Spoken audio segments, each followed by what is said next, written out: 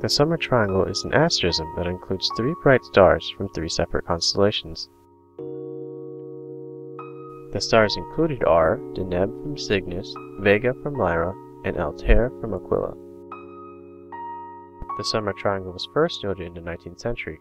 However, it wasn't until the 1950s that it became popularized by British broadcaster and astronomer Sir Patrick Moore and astronomer H. A. Rey in his book Find the Constellations. Altair is located 16.776 light years away from Earth.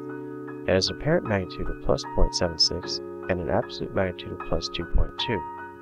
Its spectral class is A75, making it a main sequence star.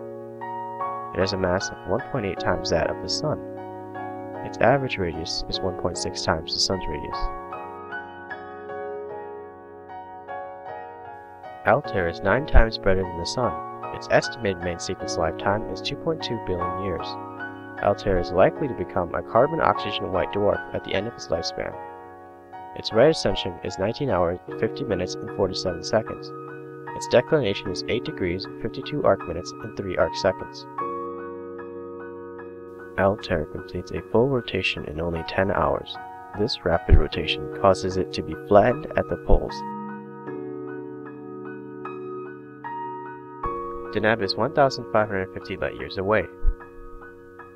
Its apparent magnitude is plus 1.25, and its absolute magnitude is minus 7.13. Its spectral class is A21A, making it a supergiant. Deneb is 20 times more massive than the Sun. Its average radius is 130 times the Sun's radius.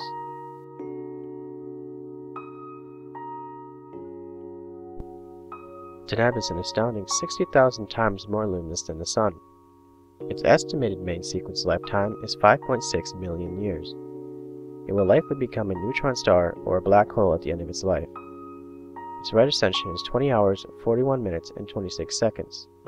Its declination is 45 degrees, 16 arc minutes, and 49 arc seconds. Our solar system is moving towards Deneb at 250 kilometers per second in our orbit around the galaxy.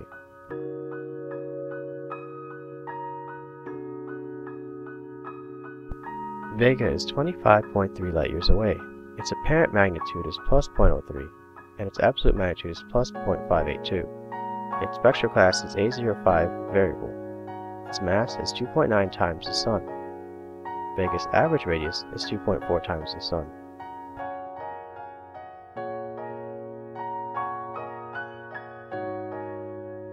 Vega is 50 times brighter than the Sun.